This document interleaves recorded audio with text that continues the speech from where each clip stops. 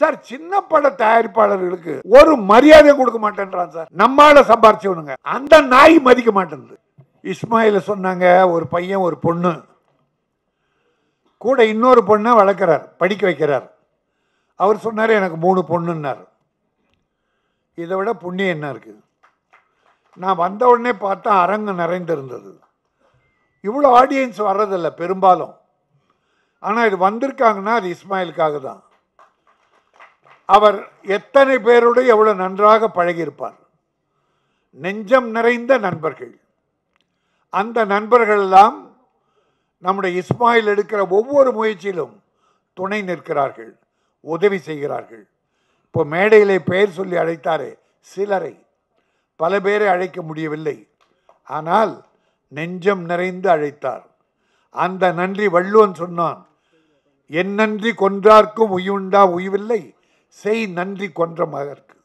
நமக்கு ஒரு உதவி ஒருவர் செய்தால் அதை நீ மறந்தால் அது இந்த மக்களும் சரி இறைவன் சரி உன்னை மன்னிக்க மாட்டான்.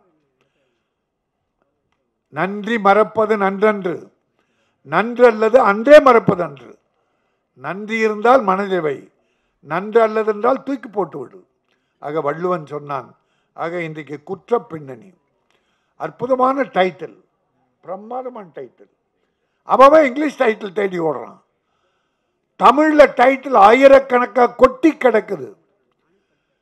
எத்தனையோ டைட்டில் இருக்கு. ஆனால் விட்டுட்டு இப்போ பார்த்தா நாங்கள் கலந்துக்கிறோம் மனசு நோக வேற வழி இல்லை. அந்த சின்ன ப்ரொடியூசர் டைரக்டருடைய கம்பல்ஷனோ ஏதோ அவன் இங்கிலீஷ் டைட்டில் வச்சிடுறான். அந்த இங்கிலீஷ் டைட்டிலால் ஒன்றும் ஒரு ஐநூறு ஆடியன்ஸ் வந்து போகிறாங்களா உள்ள? நம்ம தமிழை வளர்ப்பது எப்படி? டாக்டர் கலைஞர் முத்தமிழ் அறிஞர் என்ன பண்ணார்? எல்லாரும் இங்கிலீஷ் ஸ்டைல் அப்போ கூட வச்சான். அவர் முதல்வராக இருக்கும்போது. ஒரு ஒன்று சொன்னார். தமிழில் டைட்டில் பெயர் வைத்தால் மானியம் மன்னர் எல்லாரும் விட்டான் சார் இங்கிலீஷை. தமிழ் தமிழ் தமிழ் அங்கே அப்போ எங்கே கிடைக்குது தமிழ்? ஏதாவது ஒன்று எலும்பு துண்டை போட்டாதான் வைப்பியா? தாய்க்கு சோறு எப்படா போடுவ? பெத்த தாய்க்கு எப்போ சோறு போடுவ? எவனா ஒருத்தன் கொடுக்கணுமா உன்ன? பெத்த தாய் காலமெல்லாம் நீ காப்பாற்ற வேண்டும். உனக்கு தன் ரத்தத்தை பாலாக கொடுத்தவள். அதே போல தமிழ் தாய் அந்த தாயை ஏதோ ஒரு கவர்ச்சியால் மறக்காதே துரத்தாதே. உன் ரத்தத்திலே ஊறி இருக்க வேண்டும். வேறு ஒரு சொல்ல வேண்டிய அவசியம் நம் தமிழுக்கு உண்டா? தமிழை பழித்தவனை தாய் தடுத்தாலும் விட என்று சொன்னார்கள். ஆகவே தமிழ் டைட்டில் வைத்திருக்க இஸ்மாயில். எப்பவுமே ஸ்மைல் தான் உனக்கு. இஸ்மாயில் அதான் சொன்னாங்களே எல்லாருமே. சிரிச்சுக்கிட்டே இருப்பார் நாங்களே. Smile எஸ்மை எஸ்எம்ஐஎல் E. ஸ்மைல் சிரித்து கொண்டே இரு. எம்ஜிஆர் கிட்ட இருந்தது. எம்ஜிஆர் இப்போ பாருங்க படத்தை பாருங்க. வீட்டுக்கு போய் எங்கனா இருந்தா அந்த சிரிப்பு சிந்திக்கொண்டே இருப்பார். அப்படி பார்த்தா அந்த முகத்தில் சிரிப்பு ஒழுகிட்டே இருக்கும் எம்ஜிஆர் அதே போல் ராஜீவ்காந்தி அப்படிதான். அந்த சிரிப்பு ஒழிக்கிட்டே இருக்கும். சிலருக்கு தான் அமையும். அதே போல் என் இஸ்மாயிலுக்கு அமைந்தது மட்டுமல்ல பெட்ரோ ஸ்மைல் இஸ்மாயில். ஆஷா? பேச ஆயிஷாவா? பேச தெரியாதுன்னு பேஷா பேசினள். நன்னா பேசினள். ஐஏஎஸ் படித்து முடிச்சுட்டோ டாக்டராக டைரக்டராக வா. நல்லா இம்ப்ரூவ் பண்ணி தமிழை. ஆனால் கெடுத்துருவானுங்கம்மா. இங்கேயே சில கேடுகட்ட பயல்கள் இருக்கானுங்கம்மா. நல்லவங்கள்லாம் வர்ற போது சில விஷம் மாதிரி பாலில் ஒரு துளி மாதிரி ஒரு சில கேடு கட்டவர்கள் இதில் வர்ற பணத்தை நல்லவங்க யாருன்னா படம் எடுக்கணும் வந்தா அவங்கள பிராக்கெட் போட்டு இழுத்துட்டு போய் மொத்த சொத்தையும் காலி பண்ணுறான் அப்படி ஒரு பத்து பதினஞ்சு பேர் இருக்கான்.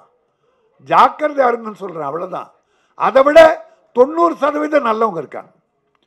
திறமையான இருக்காங்க நான் ஏன் முக்கியமாக இதில் வந்தேன்னா அஞ்சு நான் அஞ்சுலேருந்து ஆறு வரைக்கும் பாம் குரோவில் ஒரு படம் டீசர் வெளியிட்டேன். அந்த படத்துக்கு பேர் என்ஜாய். அவங்கள இங்கிலீஷில் பேர் வச்சுட்டாங்க. தவிர்க்க முடிய என் தம்பிகள் தான். அந்த படத்தை எப்படி எடுக்கிறது சிக்கனமாக எப்படி எடுக்கிறது சிறப்பாக எப்படி எடுக்கிறதுன்னு ஏ டு செட் நான் தான் கைட் பண்ணேன். அவங்க பேர் ஏதோ வச்சாங்க.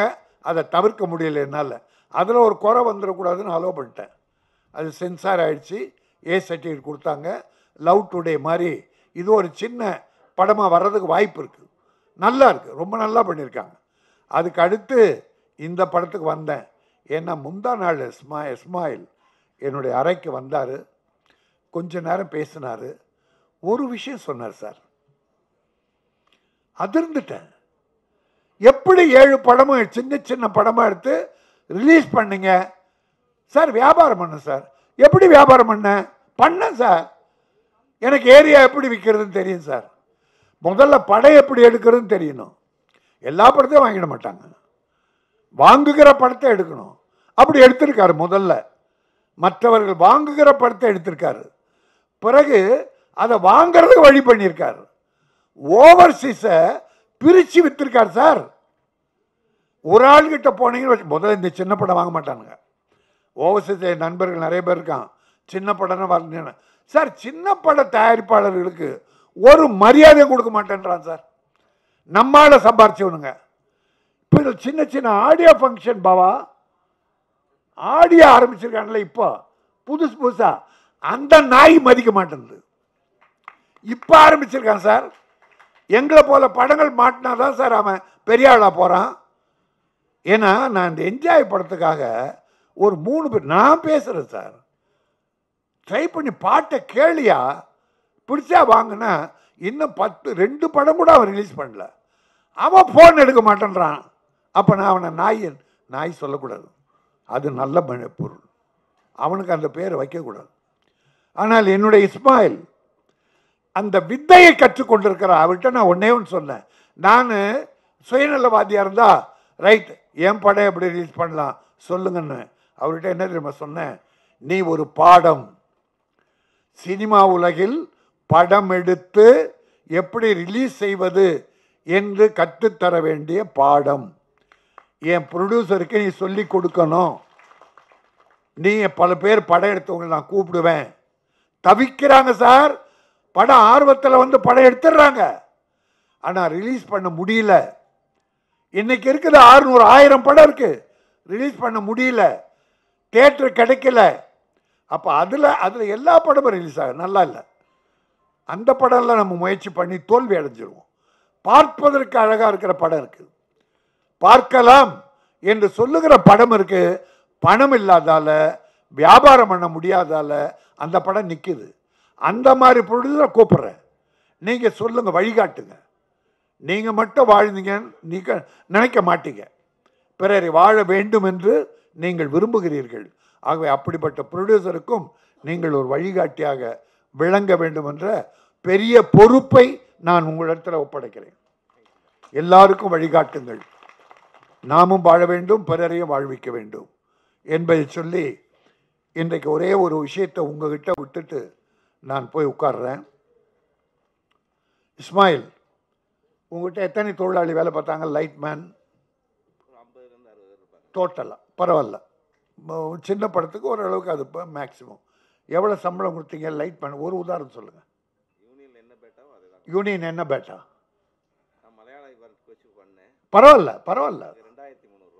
ரெண்டாயிரத்தி மூணு அவன் என்ன நைன் டு நைன் பண்ணியிருப்பான்? Six two nine six to nine ரெண்டாயிரத்து முந்நூறுரூவா தப்பு இல்லை அதுவே இங்கே இருக்கட்டும் சார். நம்ம தொழிலாளி தானே.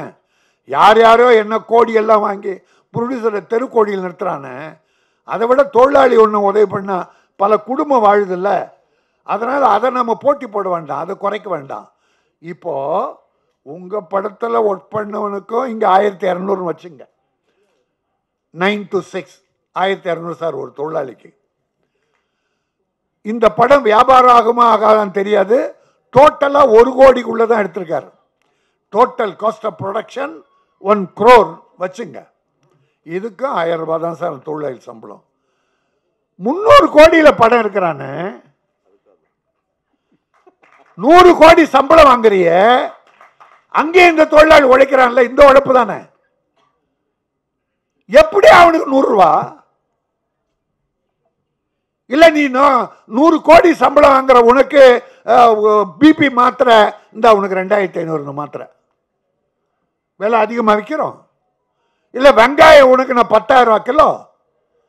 இல்லை டீசல் போறிய அது கூட உன் பணத்தை இந்த ரூபாயில் வாங்க மாட்டேங்கிறான். அதுக்கு தனியாக diesel petrol batta driver batta எல்லாத்தையும் நாங்கள் தனியாக கொடுக்கணும்.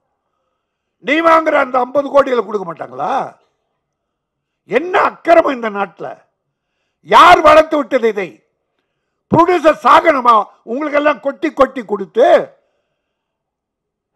வீட்டு ஊர்ல இருந்து சார் காரு பங்களாவோட வரேன் சார் படம் எடுக்கலான்னு ஆர்வமா? என் தமிழ் சினிமா நல்லா இருக்கு. நல்ல படம் எடுத்து என் தமிழ் மக்களுக்கு தருவேன்னு. ஆர்வமா எல்லா சொத்து சொ- வித்து வர்றான் சார். இவங்களை வச்சு படம் எடுத்துட்டு இவங்க நாலு வீடு வாங்குறாங்க. பட் இவன் எல்லாத்தையும் வித்துட்டு நடுத்தரில் போறான் சார். அந் நடிச்சு பணம் வாங்கினவன் காரில் போறான். நியாயமா சார் இது? தொழில் சரியா இல்லைன்னு சொல்ல வர வேற ஒன்றும் இல்லை. இது எப்படி கொஞ்சம் மாத்துங்க. இதுக்கு மனம்தான். மனசாட்சி தான். இப்போ கடைசியாக ஒன்று சொல்லிட்டு விடுறேன். ஒரு பெட்டி கடை ஒரு பெட்டி கடை ஒரு மளிகை கடை. ஒரு 50000 ரூபா அட்வான்ஸ் கொடுத்து பகடி கொடுத்து இடம் பிடிக்கிறீங்க. அதில் இருக்க மரச்சாமான்கள் அந்த பருப்பு உப்பு எல்லாம் சேர்த்து ஒரு 50000 ரூபா. ஒரு லட்சம் முதலீடு போட்டு ஒரு பெட்டி கடை நடத்துகிறோம் ஒரு நாளைக்கு ரெண்டாயிரரூவா வியாபாரம் ஆகும்.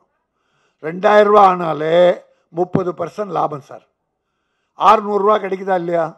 ஒரு நாளைக்கு நிச்சயமாக கிடைக்கும். ஒரு வேளை வியாபாரம் சரியில்லை.